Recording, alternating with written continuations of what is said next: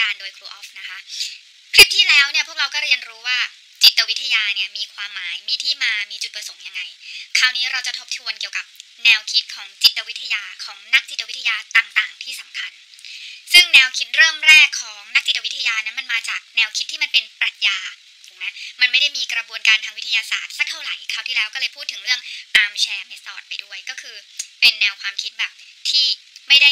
การพิสูจน์ทางวิทยาศาสตร์ แต่ต่อมาระยะหลังๆเนี่ยช่วงปลายศตวรรษที่ 19 จิตวิทยาก็มีการเปลี่ยนแปลงนะคะมีใช้มีมีการใช้กระบวนการทางวิทยาศาสตร์มากขึ้น ก็เลยทำให้จิตวิทยาเนี่ยมีความก้าวหน้าอย่างรวดเร็ว แล้วก็เกิดเป็นแนวความคิดของจิตวิทยาเนี่ยหลากหลายแตกต่างกันออกไป ก็เลยแบ่งเป็นกลุ่มที่มีความคิดต่างๆ กันแบบนี้นะเอาที่สำคัญสำคัญ 6 กลุ่มนะคะ ก็มีกลุ่มโครงสร้างทางจิต กลุ่มหน้าที่ทางจิต กลุ่มจิตวิเคราะห์ กลุ่มมนุษยนิยม หรือกลุ่มมนุษยนิยมก็ได้นะคะกลุ่มปัญญานิยม หรือกลุ่มพุทธินิยม หรือกลุ่มทฤษฎีทางสติปัญญาก็ได้ เอาว่าเราจำชื่อภาษาอังกฤษไปด้วยละกันสำหรับคลิปนี้นะ จะพูดถึงกลุ่มแรกก็คือกลุ่มโครงสร้างทางจิตนะคะอะกลุ่มโครงสร้างทางจิต หรือกลุ่มโครงสร้างนิยมนะจำภาษาอังกฤษไว้ด้วยก็คือ structuralism นะคะ structuralism เป็นกลุ่มโครงสร้างทางจิตเกิดช่วง ปีคริสต์ศักราช1879 นะคะ ที่ประเทศเยอรมัน มีรากฐานมาจากนักปรัชญาสำคัญสำคัญหลายท่านนะคะ เช่นเพลโตอริสโตเติลเป็นต้น ผู้นำของกลุ่มนี้ผู้นำความคิดของกลุ่มนี้ก็คือวิลเฮล์มแมกซ์วุนด์นั่นเอง และวิลเฮล์มแมกซ์วุนด์เองนั้นก็ยังได้รับสมญานามว่าเป็นบิดาแห่งจิตวิทยาการทดลองค่ะ อันนี้ให้พวกเราจำไว้ด้วยนะคะ สำหรับกลุ่มนี้เขาเน้นที่โครงสร้างถูกไหมแสดงว่าเขามีความเชื่อว่าโครงสร้างของจิตเนี่ยมันจะต้องประกอบไปด้วยธาตุทางจิต mental element นะคะมีธาตุทางจิต 3 ชนิด จิตของเราเขาเชื่อว่าจิตของเรามีโครงสร้างทางจิตเนี่ยหรือว่าธาตุทางจิตเนี่ยสชนิด นั่นก็คือ 1. การสัมผัส sensation 2. การรู้สึก feeling และ 3 คือมโนภาพ imagination แต่ละส่วนเนี้ยนะคะเอาอย่างแรกก่อน การสัมผัส sensation sensation ก็คือการทำงานของประสาทสัมผัสทั้ง5นะคะเป็นปฏิกิริยาตอบสนองต่อสิ่งเร้าผ่านทางอวัยวะสัมผัส อาจจะเป็นตาเป็นจมูกรับกลิ่น เป็นตามองแล้วก็มือจับแบบนี้นะคะ เช่นตามองเห็นจมูกได้กลิ่นแบบนี้เป็นต้น ส่วนการรู้สึก feeling นั้นก็คือการตีความหรือการแปลความหมายของการสัมผัส เช่นถ้าเรามองเห็นสิ่งเร้านั้น แล้วเราก็ตีความหมายว่ามันสวยหรือว่ามันไม่สวย หรืออ เราได้ได้ยินได้ฟังเพลงเพลงหนึ่งเราก็จะตีความหมายว่ามันไพเราะหรือไม่ไพเราะเป็นต้นนี่คือ feeling นะคะส่วนที่ 3 ก็คือมโนภาพนะคะ imagination ก็เป็นการคิดวิเคราะห์ เป็นการจดจำประสบการณ์จากการสัมผัส เป็นจินตนาการจากอารมณ์ความรู้สึก ฉะนั้นทั้ง 3 ส่วนนี้เขาเรียกว่าเป็นองค์ประกอบนะธาตุทางจิตทั้ง 3 ส่วน 3 ชนิดนี้ ฉะนั้นเมื่อไรก็ตามที่การทำงานของธาตุทั้ง3เนี่ยดำเนินไปภายใต้สถานการณ์ที่เหมาะสม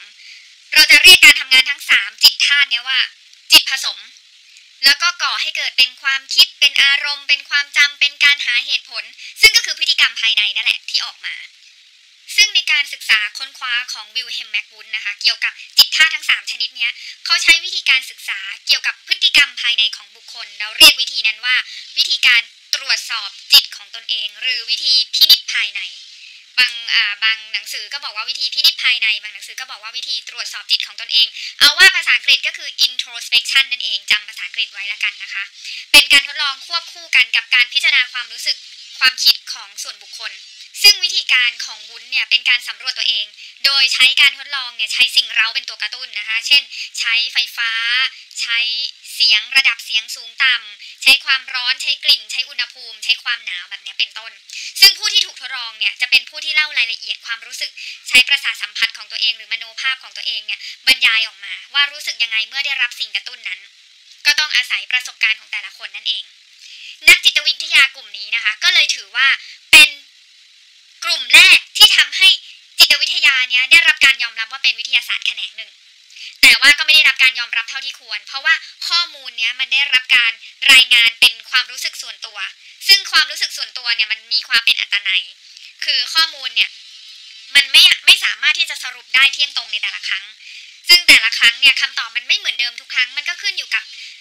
สถานการณ์หรือขึ้นอยู่กับความรู้ความชำนาญหรือประสบการณ์ของแต่ละบุคคลที่ใช้ในการวัดนั่นเอง แต่ว่ายังไงก็ตามนะคะสำหรับกลุ่มนี้ก็ยังถือว่าเป็นก้าวแรกของการนำจิตวิทยาสู่วงการวิทยาศาสตร์นั่นเองค่ะอะทีนี้มาดูสรุปนะคะ มาดูสรุปว่าทั้งหมดแล้วที่เราเรียนมานี้ถ้าจะตั้งเป็นคำถามเนี่ยแนวข้อสอบอะจะได้อะไรบ้างนะคะ ข้อที่หนึ่งแนวความคิดของนักจิตวิทยาที่ทำให้จิตวิทยาเป็นที่ยอมรับว่าเป็นวิทยาศาสตร์แขนงหนึ่ง เป็นแนวคิดของกลุ่มใดคำตอบก็คือกลุ่มโครงสร้างทางจิต constructuralism นั่นเอง 2. เราอาจจะเจอคำถามว่า ผู้นำของกลุ่มโครงสร้างทางจิตคือใครคำตอบก็คือวิลเฮมแมกวุนค่ะ เห็นไหมก็คำถามง่ายๆเนาะพอเราฟังเราเรียนได้ทบทวนแล้วมันก็ไม่ยากเนาะ 3. วิลเฮมแมกวุนได้รับสมญานามว่าอะไรคำตอบก็คือบิดาแห่งจิตวิทยาการทดลอง 4. นะคะโครงสร้างของจิตสำนึกของมนุษย์ประกอบด้วยธาตุทางจิต กี่ชนิดอะไรบ้างหรืออาจจะถามว่า ข้อใดต่อไปนี้ไม่ใช่หรือข้อใดต่อไปนี้เป็นท่าทางจิตของกลุ่มนักการศึกษาหรือกลุ่มนักจิตวิทยาโครงสร้างทางจิตคำตอบคือมี 3 ชนิดนะคะ คือการสัมผัส การรู้สึกแล้วก็มโนภาพ sensation feeling แล้วก็ imagination นี่คือท่าทางจิต หรือเราอาจจะถามไปถึงว่า สวยไพเราะสนุก แบบเนี้ยจัดว่าเป็นท่าทางจิตชนิดใด